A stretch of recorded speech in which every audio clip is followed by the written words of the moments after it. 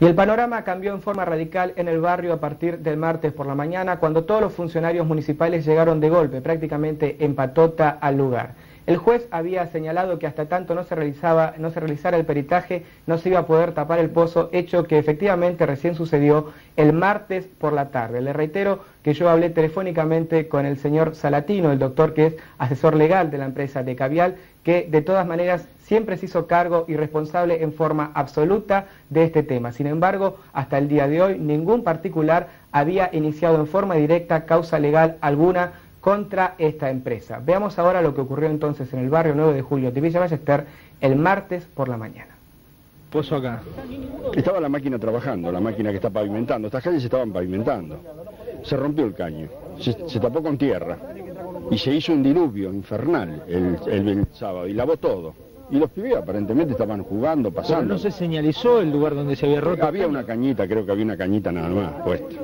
¿Le, parece que con eso es suficiente? pero ¿quién iba a saber que iba a caer ese No, esta es una cosa imprevista, absolutamente. Pero los vecinos habían pedido que tapen el pozo. No, eh, fue tapado. Se tapó con tierra. Con tierra. Lo que pasa es que el, agua era tan importante que lo lavó.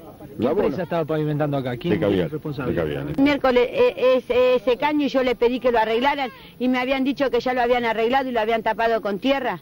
Y eso usted no lo sabe, ¿eh? porque pienso que no se lo habrán dicho. No, correcto. ¿Eh? Doctor, los vecinos reclamaban porque hace cuatro días el cuerpo del chico Adrián está perdido. Aparentemente nosotros estuvimos presentes toda la noche, pero la municipalidad aquí no se hizo presente. No, no, no es exactamente así. Este, Defensa Civil, ahora voy a buscar a Soncini, me ha explicado Baldi, estuvo junto con Quevedo y hasta ayer me estaban diciendo que estaban rastreando la calle Primero de Agosto y Campichuelo y que habían seguido todo el curso del río con los escasos medios que tenemos ahora. Si la prefectura nos facilita otros medios, que es lo que estamos haciendo con el comisario Campisi, por delegación del subcomisario Mayor Murat, vamos a poder, perdón, un segundito, vamos a poder eh, tener mejores medios para poder continuar con esto, que desde ya es una tremenda desgracia y estamos junto a la gente.